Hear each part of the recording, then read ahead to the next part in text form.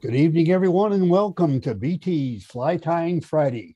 Tonight, we've got the famous Dutch Baughman doing us the Grant style weave.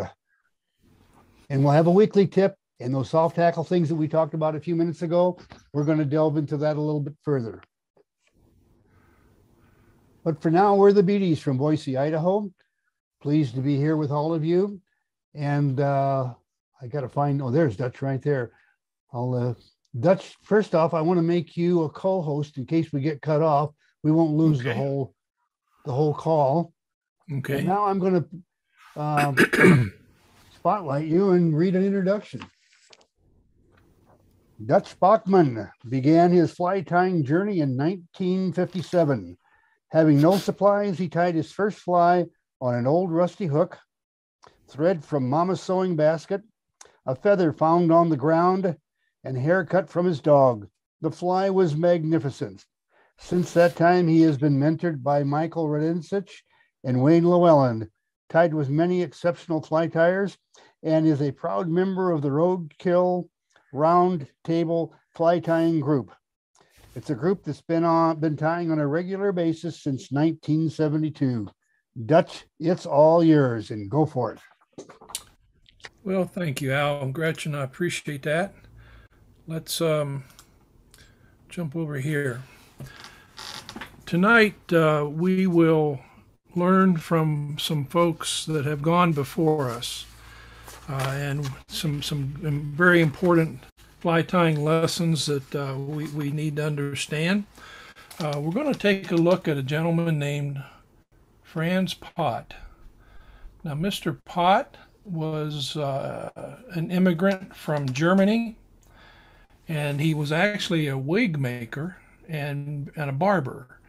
And when he got to Montana, he settled in the Bitterroot Valley in Hamilton, which is just south of Missoula, Montana. Uh, and he uh, is credited with producing the first woven hair trout fly in the 1920s.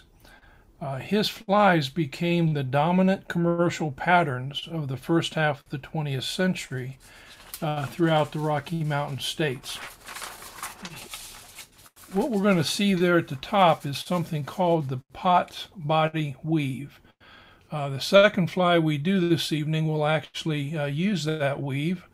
We'll demonstrate that, but I want you to pay attention at this point before we get there. Notice how the orange material here on the underbody is slanted at an angle. Uh, that was the way uh, Mr. Pott uh, wove this pattern or wove this body, and um, it's it's a very effective beautiful way to do it. And uh, I'm going to show you a little alternative to that tonight, uh, to actually line those little orange threads in a nice underbody line. Uh, this is one of the most famous flies that Mr. Pott developed. It's called the Sandy Mite, and uh, it was very, very, very popular and still is in, in many, many places. Um, the woven body and woven hackle collars uh, that Mr. Pott tied were extremely durable. Uh, they were very, very definitely sought after by fly fishers.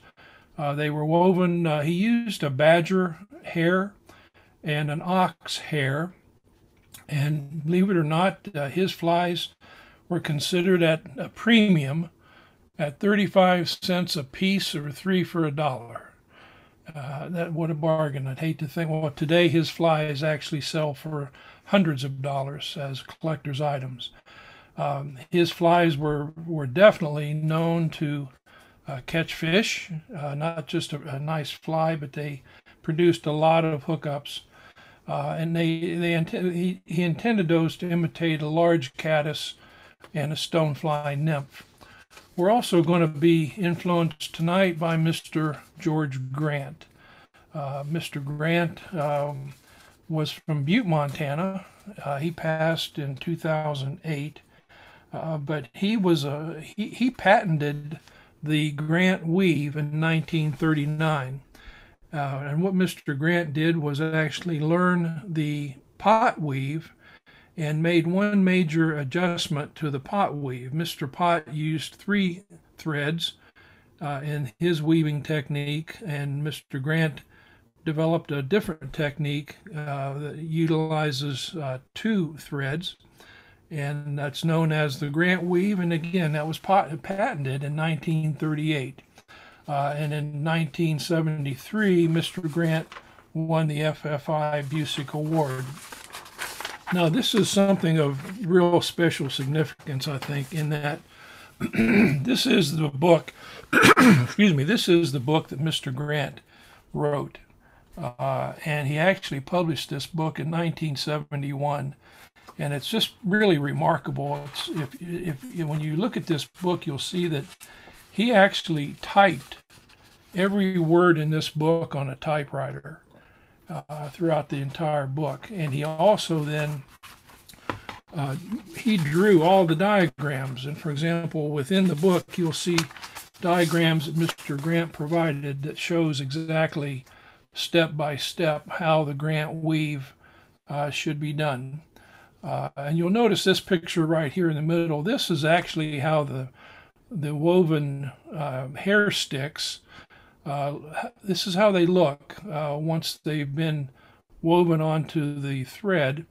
But you'll see many pictures today where the uh, the shortest part of this, which actually becomes the wing or the collar, is straight up and it looks like just one long piece, but uh, that occurs with some manipulation. But in any case, uh, Mr. Grant drew all these diagrams to describe uh, the Grant weave. And you'll notice bottom left, yes, we're actually going to do a, a half hitch as we uh, weave this fly.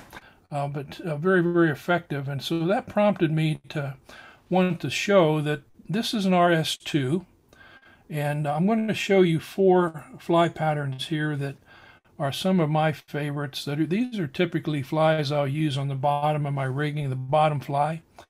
Uh, sometimes I fish two of them at once, but the RS2, this is one that very similar to what uh, we saw earlier in a, in a session, the IOBO fly. And it's got crystal flash as the wing up there, of course, and it's pulled across the body. Uh, but that's a very, and you'll notice on that one, uh, you'll see a glass bead. I, I, don't use weighted flies at all. And uh, instead, uh, for any kind of an emerger pattern, I like to put a glass bead on that pattern because uh, to me that seems to replicate uh, the gas bubble that an aquatic insect will generate as they start to rise. Another fly in this same group, with, in my mind, is the uh, Coch-y-Bonddu. Uh, this is also a very interesting fly. How it was developed, it's very unique in that this is a fly from Wales. And the fly was actually named uh, twice uh, for the, the same name, but for two reasons. One, there's a beetle in Wales called the Coch-y-Bonddu, and it's black and red. Uh, but also, uh, there was actually a fowl or a, kind of a chicken animal that was called a coch-y-bonddu, and and uh, this fly originally was tied using the rooster feather from the coch-y-bonddu, and it's hard to find the coch-y-bonddu feathers today. So today we use a furnace type of feather. Uh, but one other thing that's really unique about this fly is that uh, the body is actually uh, peacock herl and ostrich herl. You can actually tie them in at the same time uh, and it's very, very effective. But what led me to all of this was that this is another pattern that I, I really like to use. Uh, again, as a bottom fly, you'll notice it's a woven body. And this, this weave is very different than the uh, Grant weave or the Pott weave that we're going to look at. This pattern, I started out with this hook, same hook, and uh, put the glass bead on it uh, that I like to use. I'll show you this one quickly uh, because it's really an effective and very simple weave that, that you can do. It's called the overhand weave. And you'll notice we've got uh, a, a, yellow side and a, and a green side. Uh, to do this overhand weave, we're going to have the yellow side, we're going to have the green side. And very simply, all we do is we take the yellow over top of the green and do an overhand knot. And notice when we do the overhand knot and we begin to close it up on top of the hook shank and the yellow on the bottom, just like that. I'm going to then start to pull each strand in opposite directions and I'm going to form a little figure eight. You'll see a little figure eight that shows up there. Now what I'm most concerned about is that yellow loop on this side. Uh, that's that you want those to be in a line in alignment uh, from back to front. So you can do that very easily as you're pulling these two strands. You can control where that yellow goes a lot of times just by moving the green one. So I want that yellow tight on the side and I can move this up or down as I need to, the green one up and down, to make sure that the yellow one is exactly on the side where I want it in a little snug close. There's my loop. Go over the hook, start to close it. Now that yellow loop is on the right side. So there's my figure eight, yellow loops exactly on the side. And I can do that by raising the yellow, lowering the green, but I can move them around.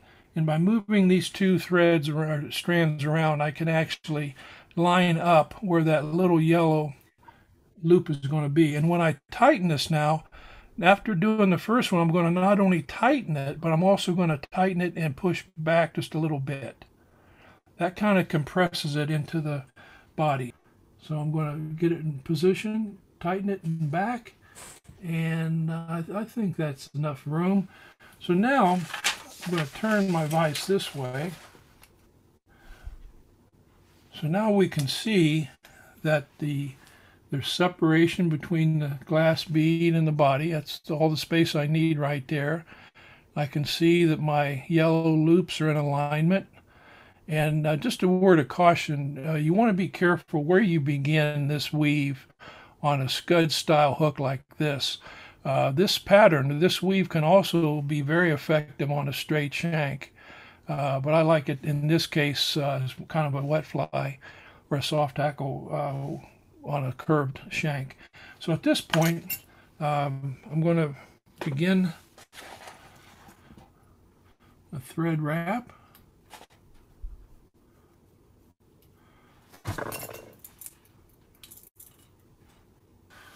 I'm going to take both of these strands, I'm going to bring them both forward at the same time, but not pull on them. I'm just going to lift my thread over that opening and capture both strands and pull. The tightening wrap is always straight up.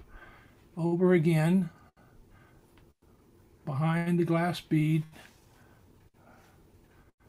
straight up. And then I do this. I'll take my thread and I'll go around both strands go around both strands twice. Now I just gently slide my thread loops up and a tightening wrap. Now I just put a, a, a actually a whip finish. So that was a half inch by doing that. So now I can come in here and turn this upside down. I'll compress that. Now take the tip and pull up. There you go and roll it back. I can continue to do that, compress it, lift up, roll it back. That can begin to bend those barbs. Also, I, I keep a hackle plier on the uh, post of my vise, uh, and I can put the tip in that post of my vise with the hackle sticking out, and I like to take actually the edge of my scissors and very gently run my edge of my scissors down the rachis on both sides and that'll bend those feathers as well.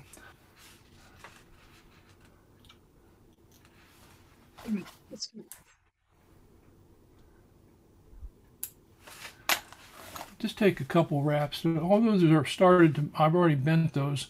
I still like to pinch them back a little bit just to make sure they're going in the correct direction. Bring them around and one of the advantages of preparing the, the hackle like this before you come to the hook shank is that you can avoid the the the hackle barbs encumbering each other as you wrap them around. So normally, uh, for example, uh, when you take hackle around something like this, when it, when you're coming back up here, th that's where you'll see those hackle barbs compressed. And if you continue, then they get twisted and they're underneath the hackle itself. Really looks bad. So I'll come up like that and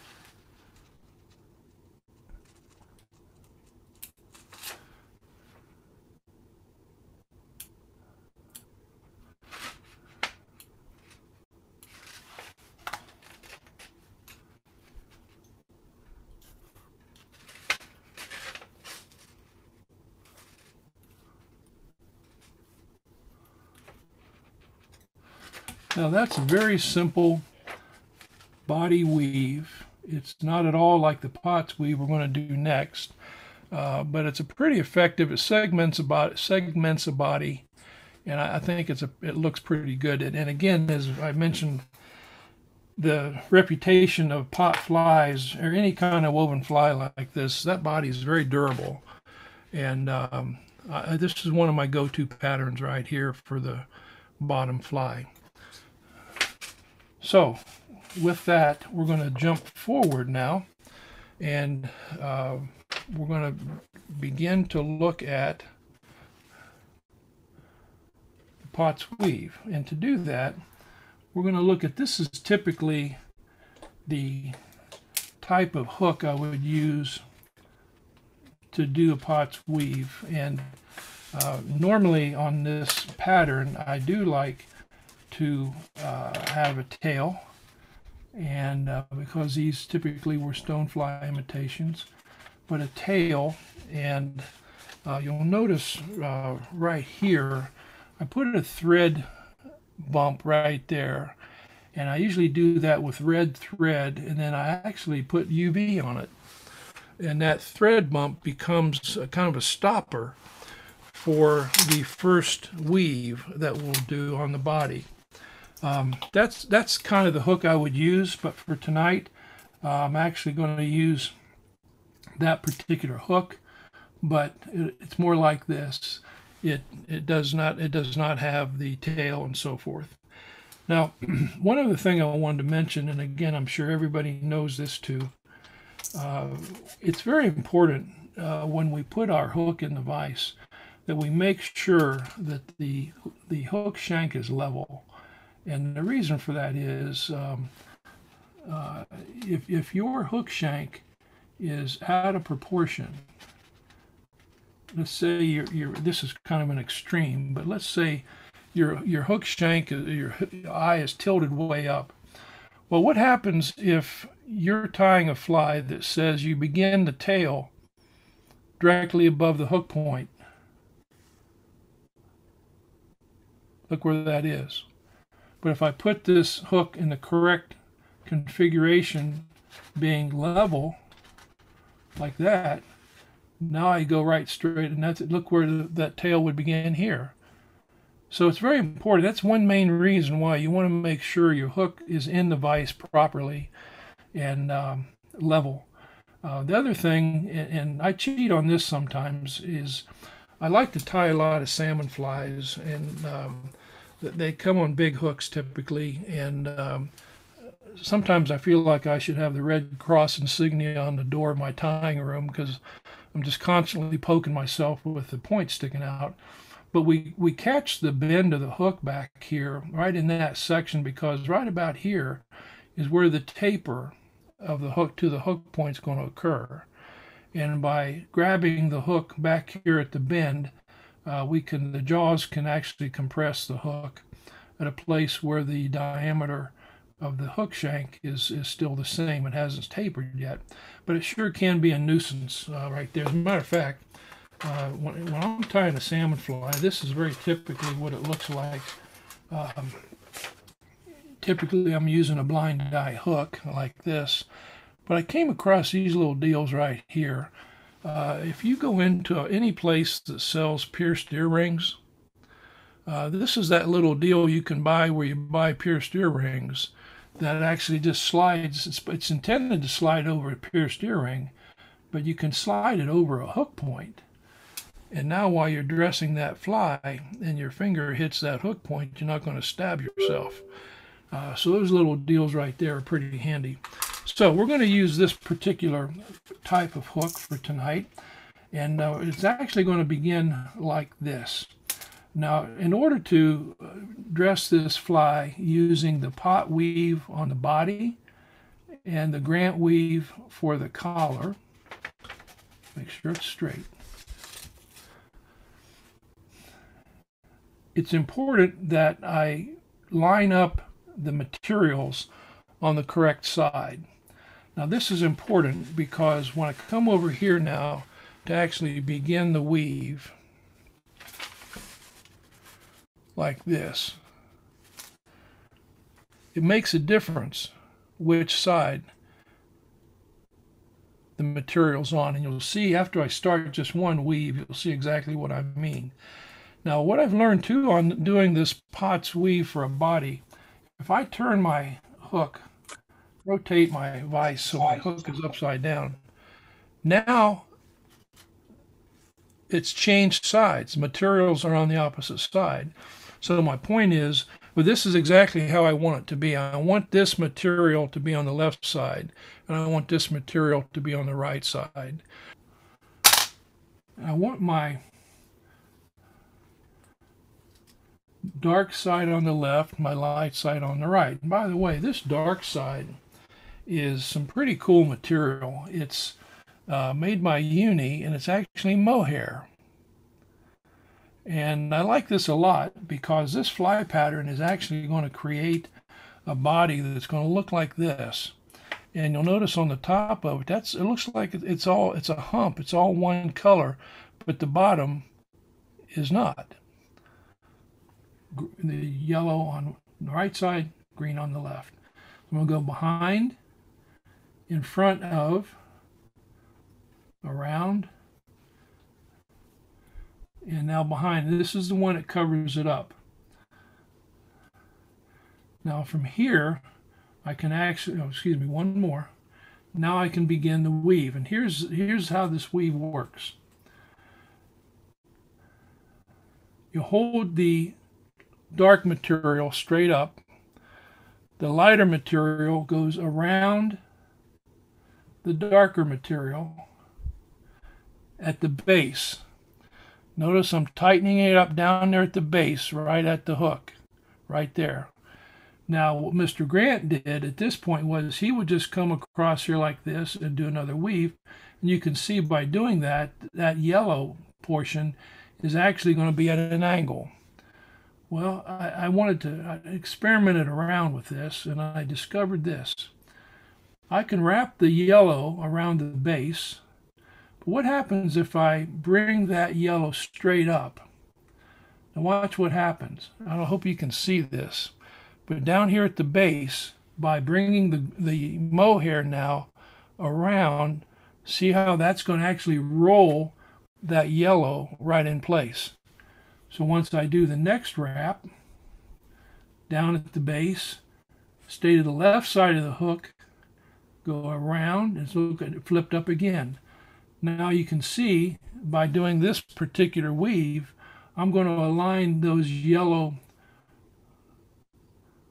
marks in a straight line. So once again, come around, tight, mohair around, roll the yellow in. Tight base, mohair around, rolls yellow. So I think we're going to stop right there. I got those yellows in a nice line. Come back to this point.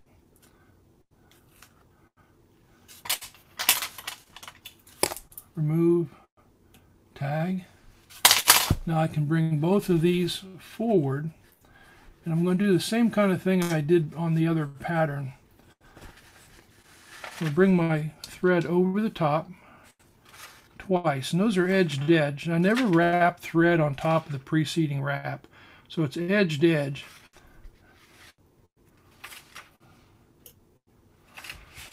All right. Now this is where we build. We're going to build the hackle for the Grant's weave. That's going to go in this spot right here. And this is what we're going to do. We're going to whip this finish, take the hook out of the vise because we're going to need the vise to do the Grant weave. Okay. Now for this strong material, uh, you can use uh, 6-aught thread or stronger. Uh, you can use mono, uh, any, any, kind of strong thread. And um, you'll you'll take that that it's about you want that length of thread. It's going to be hard to see on the screen here, but it's actually thread here. That's about two feet long. And after I take a two foot long piece, at the end, I'm going to bring those butt ends together like this. And then just down from that, I'm going to do an overhand knot.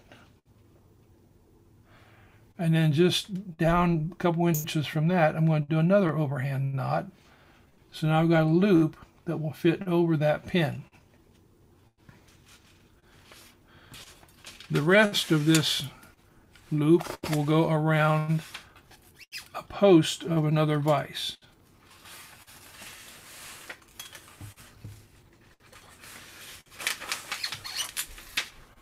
Now I'm going to build something that Mr. Grant called hair sticks. He built hair sticks by utilizing long hair. Like I said, he liked to use badger hair. He used uh, ox hair. Um, you want it. You want the hair to be at least two inches long, so that you have enough room that you can weave it properly and so forth. Uh, this particular hair is a bull elk mane, and it's really nice and long, as you can see this is kind of ideal in my book. I like it that long. So what I'm going to do is come in here with my scissors. I'm going to cut off a section of this bull elk mane. Hold on to the tip ends. And I want to get rid. Now you'll notice how, how the, the, the distance or the width of this end, where all those butt ends are. Watch what happens. If I start with a comb just down here at the butt ends and start at the end, look what happens, how easily I'm pulling a lot of stuff out of there. Uh, I didn't start down here, try to push a whole bunch. It's like pushing a whole bunch of spaghetti. I'm going to start down here, and as I pull stroke hair out of there, I'm thinning that up sometimes referred to as cleaning hair. The next thing I do is place this bundle into a hair stacker. Now there's the tips of that whole bundle. So I pull all that out.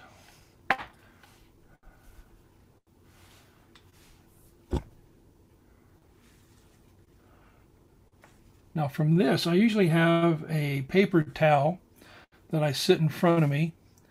And what I'm going to attempt to do here is pull the tips of this bundle just a few at a time.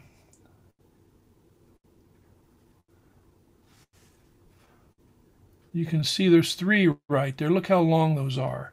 I'll lay this on my paper towel right in front of me. I'll come back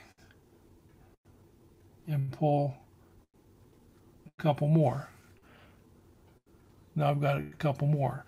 I'm going to make new bundles of five to seven hairs. Stack them.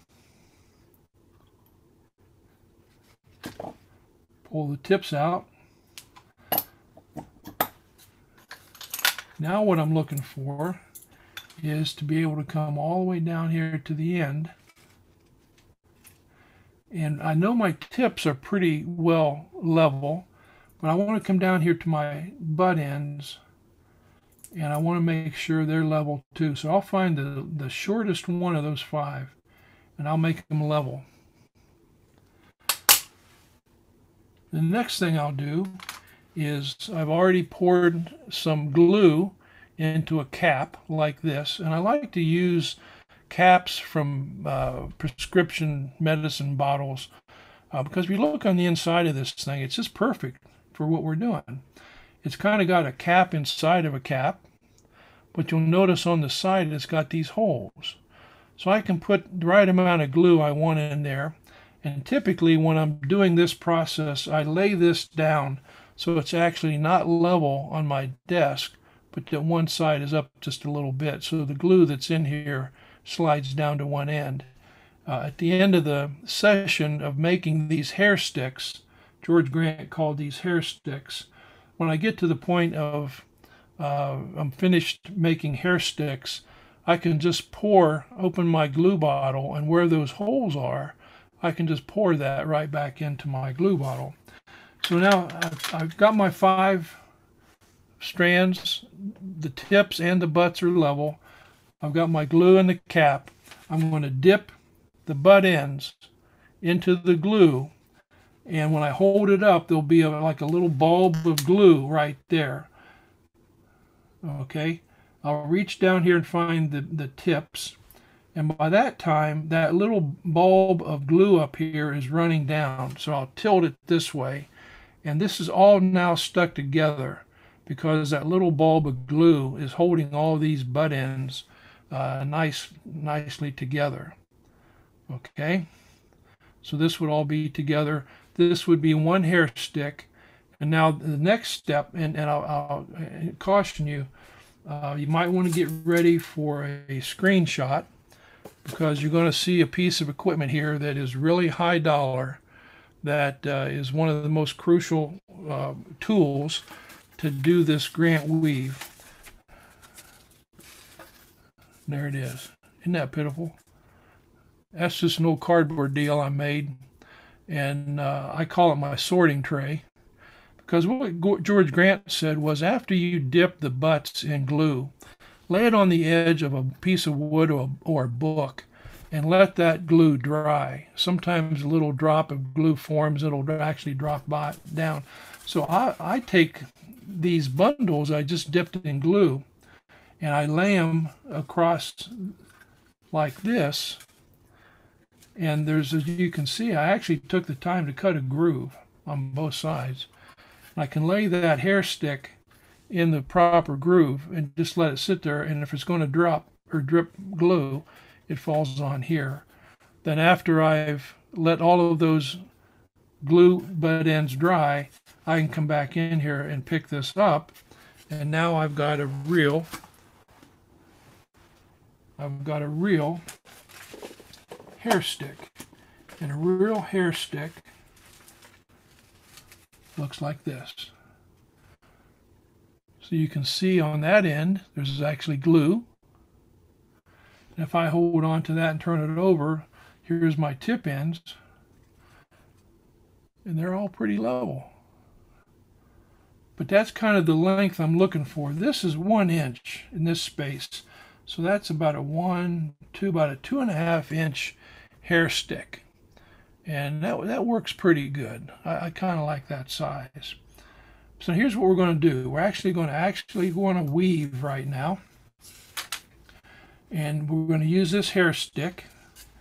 The next tool that we use, and this is the only other tool really that we use, is um, you can actually buy a hackle plier that's got this little tag or welded on. And uh, Todd Collins in Butte, Montana is the guy that has those. But you need a, a hackle plier like this because what happens next is I'll turn this around so I have the tips sticking out and I will already know how long do I want my my uh, hackle to be. All these little dots on here represent different distances. So all the way to the end is one inch. Then I've got 7 eighths and 5 eighths and so forth. So if I want a half inch bundle, I can come in there and I'll put the tips right on the dots of that represent a half an inch. Now when I turn this over, I know the part that's actually going to turn out to be the collar on my fly is the correct length. So this is one method to do this. This is how George Grant did it. Uh, there, there's another way you can do it, and this is also kind of handy, I think. Um, another way is just to take a ruler, and I'll measure the distance I want, let's say half inch. I'll get the correct length, say half an inch. I'll take a different kind of hackle plier. Doesn't have all those numbers and such, and I can grab the whole bundle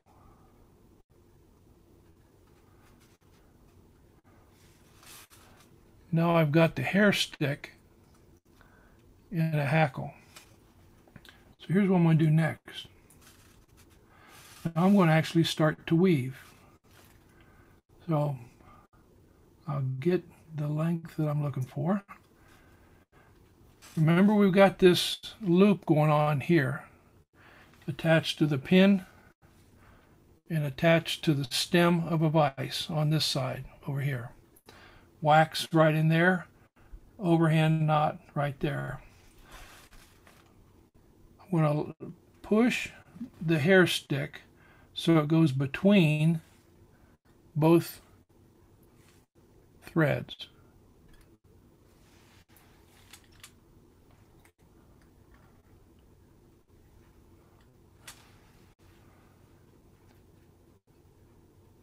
I'm going to push my hackle up close to the thread right here. I'll take the rest of my hair stick and by holding that in place, now I'm going to come in here and I'm going to grab my hackle and pinch my hackle, hair stick, and loop all at the same place. Reach around here, I'm going to grab my hair stick, bring it around, up and to the left. Now I've just put a little half hitch kind of knot underneath my fingers right there. Now I'm going to separate this loop. I'm going to drop the hair stick between the two loops and pull it down. Now that just compressed another little half hitch kind of deal up against the first one, which is underneath my thumb and middle finger. Now I can take the rest of the hair stick. This is where I do a half hitch. I'm going to go with the with the glue end. I'm going to go around the loop, the thread, come up and slide to the left. And I can feel it stop. And I hope that means it's up against the first two loops or knots. There it is. That's what it's supposed to look like. Keep it pooched together. So after I do every weave, I'll make sure that the ones I have in place are looking good. This time, let's use this. Okay, so I'm going to open the hackle plier. Now, if you get one of these from Todd Collins, he typically makes or puts, he welds this onto a hackle plier and if you're familiar with the English style hacker, hackle plier, that's what he uses. And I really don't care for those because they, they twist very easily. You can slip them really easily. So I like a little wider place where I can compress it open. So I'll come in here and I'll find the correct length. I'll lay those tips right there.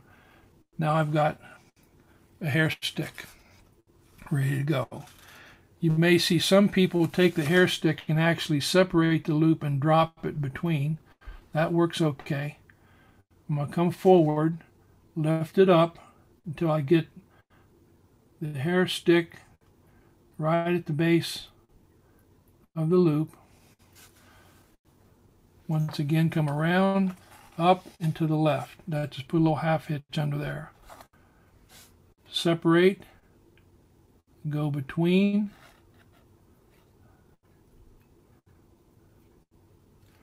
down to the left, half hitch,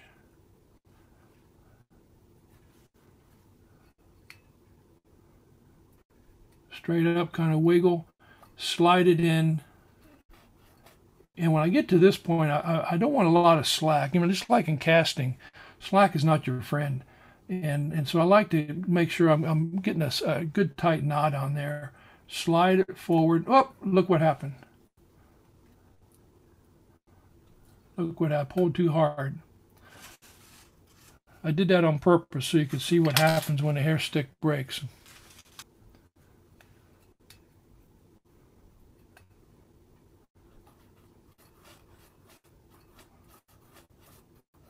to the left, now they're together, just like that. I can straighten them up here if I want to, or I can slide them if I want to. Straighten by, by that's by pooching them out so the top straight stands a little straighter. Then slide it in, and you want to be careful when you're sliding it together because this can actually break too. Um, I, I, I, should mention I, I, I really enjoy tying fully dressed salmon flies. And everything I know I learned from Jim Ferguson, but I, I enjoy these. And these Grant, uh, uh, the, these flies are exactly the same. If you don't have the patience to build these hair sticks and to do the weave properly and so forth, it ta- it's very time consuming. It's very labor intensive. Uh, and if you don't have the patience to do that, then uh, George Grant weave is your flies probably wouldn't be for you. So we can keep going with this, and typically uh, I'm going to look for uh, something like um, 15, 16, 18, uh, that, that kind of number of um, hair sticks. So what I'm going to do is just kind of fast forward everything I'm going to actually pick up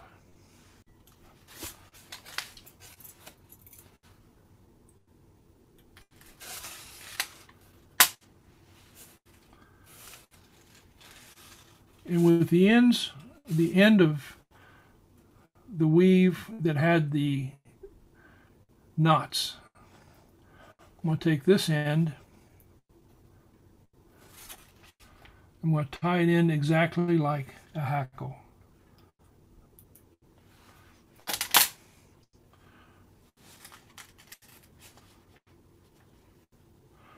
Weave this exactly like hackle because that's what it is.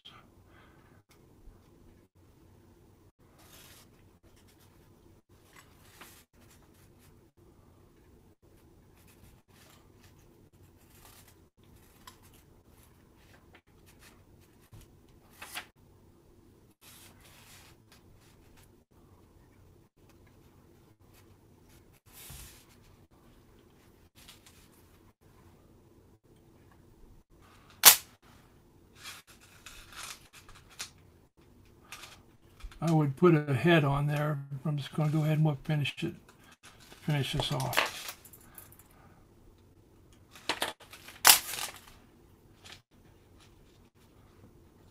Well, I do have a question for you. John is asking, what did you do with the long ends? The long ends? I would sus- I would suspect the long butt ends that you had remaining after tying your uh, your half hitch. Oh, Okay, that's a good question. Um, once you have tied in the number of hair sticks that you need, and you've got the width that you need, uh, you go in there with some fine tip scissors and cut those long ends of the hair sticks off. So and and you just just a, a slight nub uh, after you cut them off, but all, you, you cut all those long ends off, and um, then you're left with uh, you're left with something that would look more like this, where all of those long ends have been cut off. Got it. So that's where they would go. Yep. by the way, that came out beautiful. I I was watching to see how it would come together for you, and it was good job, man. Good job. Thank, thank you, Al. Thank you. They're fun to tie. Okay, there you are. And that that's Pott flies, not grant flies, but yes. Yeah, these And- were uh, tied by Pott's. Right.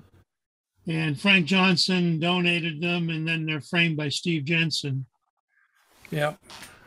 Right. They're um I had uh, I've got one of the Pott flies myself, but uh I had another original that I took apart to make sure that the information that I got on weaving it was correct. And Yeah. anyway, What? Oh yeah, it was a hundred dollar fly, Gretchen. Yeah, he's got the VT special, and then there's the you Badger hair mics? in green, and then the Royal Coachman and the Black Ant on this presentation. Are there any mites on there, Jim? No, it's just uh, Royal Coachman, Black Ant, and the Badger uh, hair in green, which, and then the VT special, number six. Another popular pattern. He, act, he, he of course, the mites, but he tied one called the fizzle. it was uh, very, very popular. Thank you, Dutch, so much for the for the presentation. And now Welcome. we're to um we're the to the point of the weekly tip. And um, we're going to talk a little bit more about the soft hackles that we did last week. Actually, that presentation created more questions than it did solutions, but that's all right. And we're going to talk a lot more about UV glue. And when we get to the UV glue portion, we're going to have something we don't normally have. And we're going to have a short tip from one of our viewers. But anyway, let's get to, let's get to the. All right, here's the tip. Last week, if you'll recall, let me get my other glasses out here so I can see what I'm doing. Last week, we tied this fly right here, right up on top there, the one with the fluffy white tail. And uh, we thought it looked pretty good. We went and, and somebody in the audience suggested dunking it in water. We did. And the front part of the fly got wet and the back part of the fly, well, it, it didn't get as wet. We've done a bunch of experimenting this week. And anyway, before we get into that experiment, experimentation and the actual tip, we just wanted to talk to you about uh, tying a fly that's uh, that we that's going in our own fly boxes. This came from um, from a the uh, window feather on a on a ringneck pheasant, and this is the base base end of the of the fluff. And as you can see, we added weight by but uh, just putting some beads in between some sections of dubbing. Real simple. Just add the number of beads that you want to add to make it sink as fast as you want it to sink, or don't put any at all, whichever. Let's just get get It's to a our weird looking fly. it's a weird looking fly. That's why it's going into the into the box because we've learned one thing over the years that if you show them something similar to what they've been seeing, but a little bit different, it often gets a strike. Now here's the it's more of a question to all of you. Last week we did this one and we tied it out of a feather, soft hackle and chickabou, and this is one of the soft hackle feathers and um, use the, this fluff for the tail, thinking that it was going to get wet. And um, well, here, let me just dunk it in some water. I've got some water over here. I'll just dunk it in the water real quick. And uh, we'll just dunk that thing in there. And now we'll get back here. And the comment at the time was, darn, that thing sure didn't collapse very much. In fact, I want you to notice something that it's the very tips of that feather that are wet and the rest of it's dry. Well, the old wheels got to turning and we got to looking at the different chickabou feathers or the soft hackle feathers in the soft hackle chickabou pelt. And I want you to notice that the fibers in the back part of the, let me move this and let me get my pointer. All right. The fibers at the back part of the stem from about here to about here are just a bit different. They're a lot wispier and thinner than these fibers here, which are a lot thicker, except on the very, very tips. Well, what our experimentation has discovered, and I'm just going to reach over here and dunk this into the water. And then we'll come back to the vise.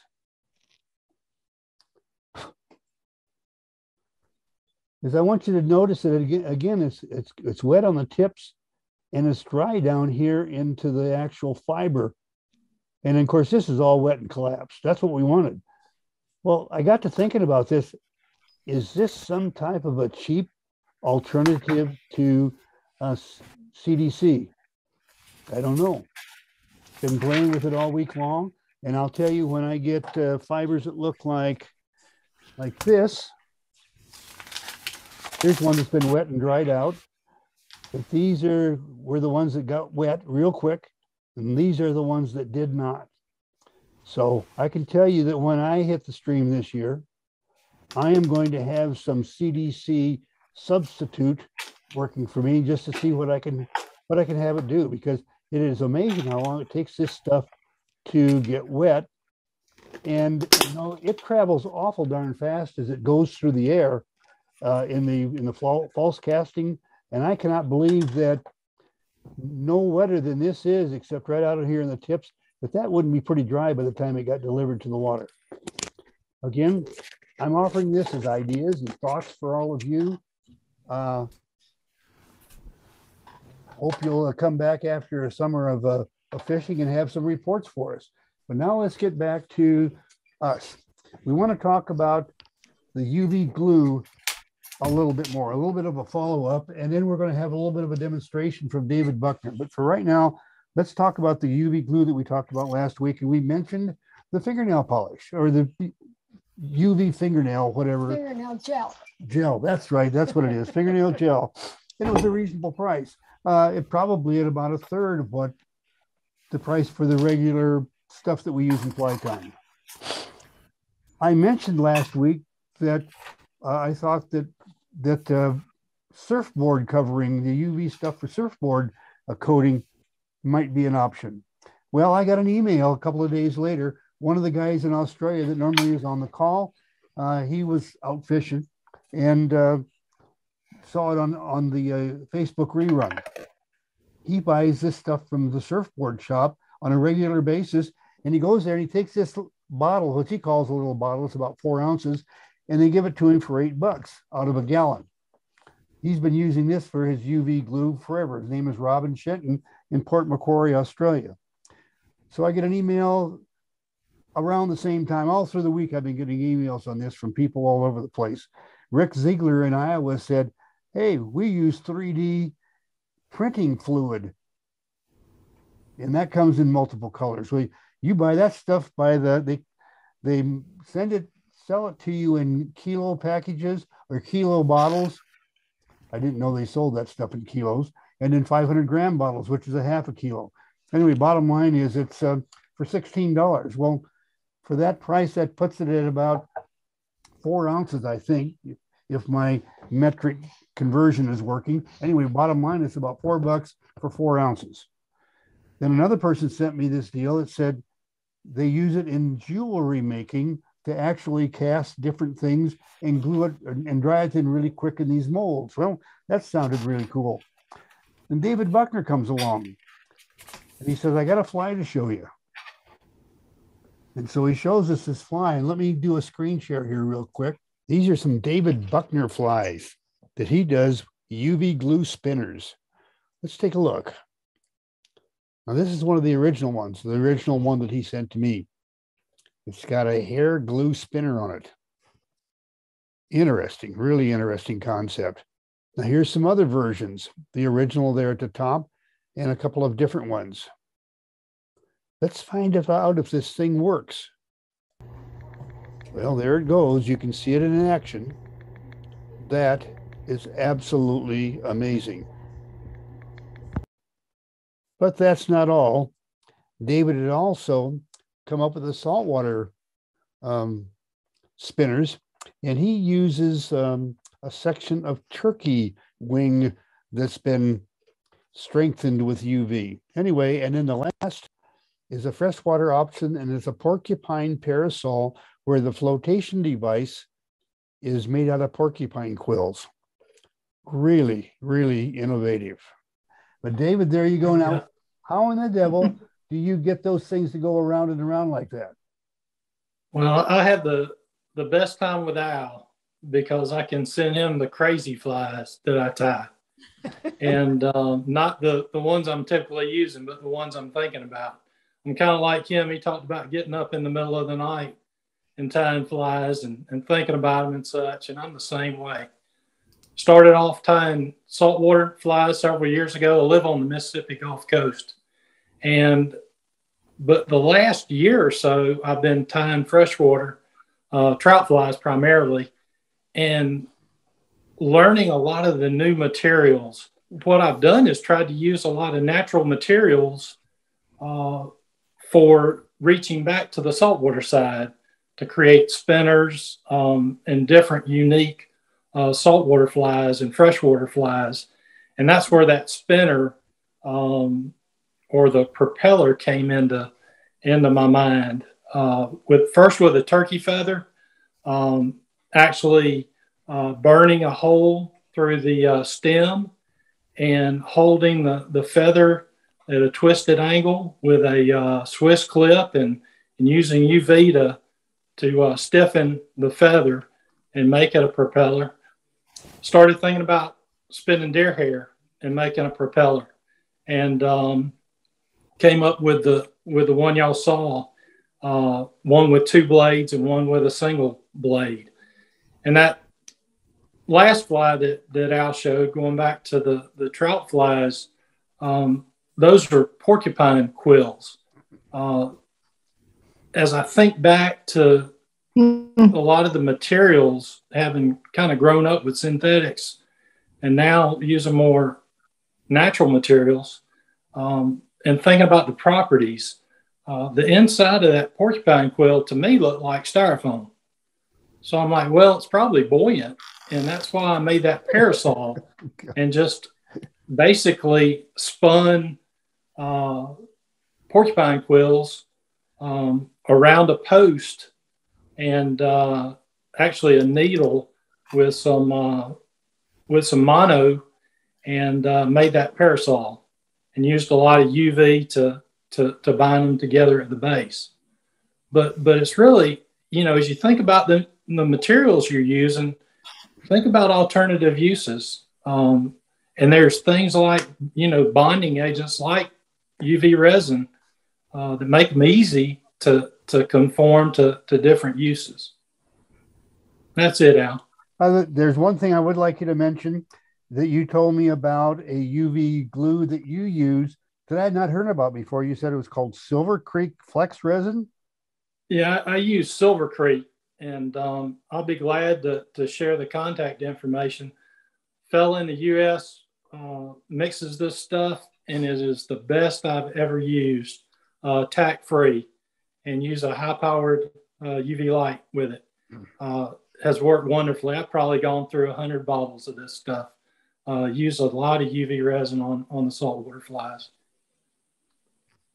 Okay, well, great. Now there's one one more thing to see. We're just going to add a spotlight on a side by side. One of the first things I did is I asked David. I said, "Okay, how about coming in on fly tying Friday, maybe this fall, and uh, showing us how to do this?" He says, "Well, I don't know how to do Zoom." Would you teach me? And so we've been we've been going back and forth. And bottom line is, we've been thinking about conducting a uh, Zoom class over the summer. If we can get enough interest, we'll uh, we'll go to the work of putting it together. And so, what I want from all of you out there listening in is, you see my email address. You know now how to get a hold of us, or you can get a hold of us via Facebook and leave a message there, though you're more likely to get it read by sending it to the email address. And um, if there's enough interest in us going to the work of putting together a Zoom class, we will do it. We I'll hopefully there. before you all are getting ready to demonstrate your flies at the FFI Virtual Expo in I think it's November. But anyway, anything else, David? Don't text him. Oh yeah, I don't read text. I, Don't text him. I got Send that. emails. I got that turned off. You, you know, starting out covering, you know, the, the cameras and video equipment, lighting, the setup, um, Zoom software, uh, other softwares we might need, uh, the presentation itself. I think it'd be helpful. And I was on the, the fly tying group call the other night and, and Jerry was talking about trying to grow the community to, to demonstrate for the FFI Expo Sure. later in the year. And it's just become so mainstream with fly tying. I think it'd be helpful to grow that community. I, I don't disagree. And I happen to know that there's several excellent presenters on this call, as a matter of fact. One of them was talking tonight, as a matter of fact, that could very well help with this type of a type of a deal. So I'll be watching my email, and if we get enough interest, we'll go ahead and do that. And if not, then David and I'll work our own deal on the side.